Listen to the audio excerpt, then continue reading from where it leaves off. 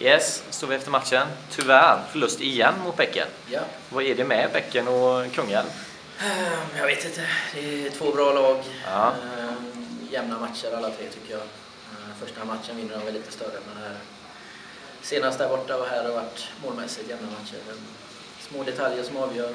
Ehm, Idag tycker jag vi missar lite för mycket framåt och släpper ett eller ett par lite för billiga mål. Mm.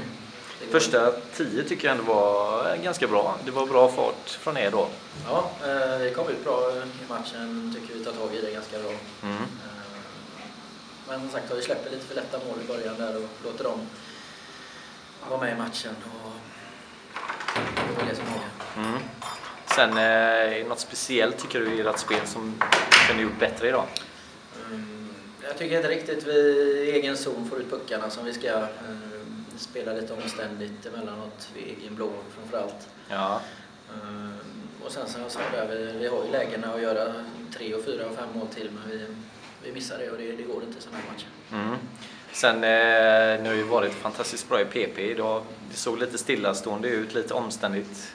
Ja, eh, fick väl gjort rätt i alla fall i PP Mm. där. eh, Jag vet inte vad jag ska säga, det har ju stämt i stort sett hela säsongen. Ja. Ibland blir det ju så här och det är ju lite folk borta som är tongivande i powerplay då, man Mm. så. Det gör väl sitt också. Mm. Gjorde ju ändå mål i det, men det känns ibland som att kan man få ett PP så kan man få med sig lite momentum och liksom driva upp tempot och ha med sig det till kommande där. Det känns som att ni gick ner i tempo varje gång ni fick PP och sen så var det svårt att Ja, komma upp i nivå där. Jo, men så, så är det. Och, ehm, ja, men det är bara att gnugga vidare. Vi jobbar vidare på det och försöka göra det bättre mot Kollare i nästa match. Ja.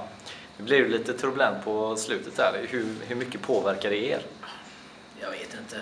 Det, det är klart det påverkar och det, man försöker ju inte lägga fokus på domare och annat men det, Ja. ibland är det svårt när känslorna tar över. Ja, Både för spelare och ledare. Så att, eh, precis. men eh, varken vi eller Bäcken är ju nöjda med, med hans insats så att eh, det, det påverkar väl lika mycket åt bägge håll tycker jag. Ja. Några spelare då som du vill lyfta fram idag? Eh, ja, jag tycker Garpsäter gör det bra, två mål Mm. idag igen. Uh, och äntligen hittat målet efter haft lite torka här. Så att, Ja.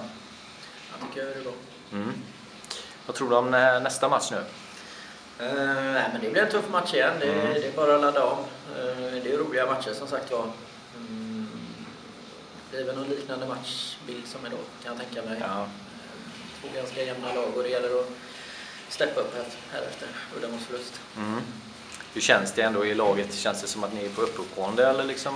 Nej, men det känns bra. Mm. Det, det, det ser bra ut. Jag tycker inte vi har någon dålig match idag. Alltså, Nej. utan det, det är som sagt var små marginaler som gör det. Och, och behålla fokuset på träningen imorgon och Mm. som sagt var, försöka vinna på söndag. Mm. Vi håller alla tummar och lycka till på söndag. Ja, Ja.